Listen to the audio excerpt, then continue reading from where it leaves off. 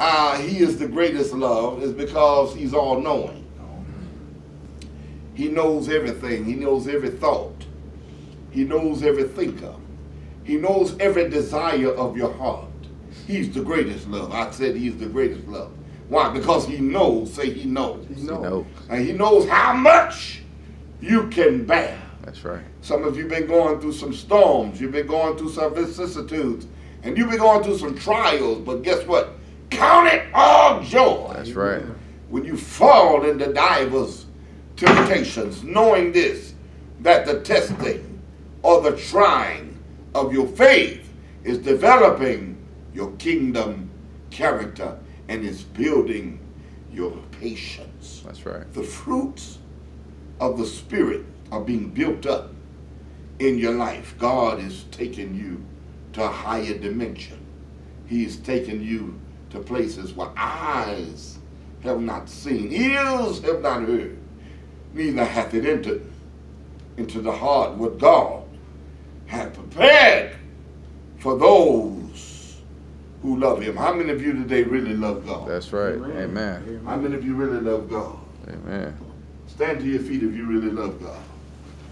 Hallelujah. Hallelujah.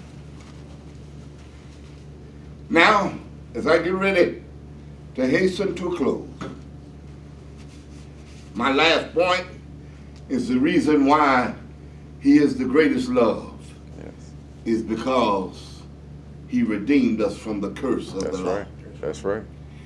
Hallelujah. If it had not been for what Jesus did for us out on a hill called Calvary, how he uh, yet had no Mhm. But yet all of the sins of the world were laid on his shoulder.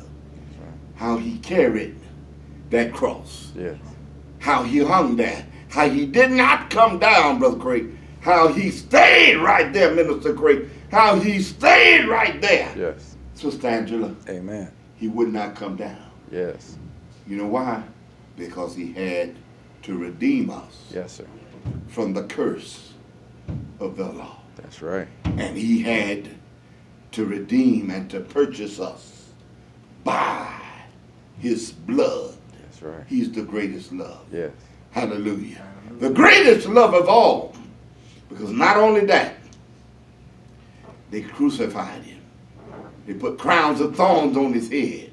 But they did not know that his love was so great Amen. that he is the King of kings and the Lord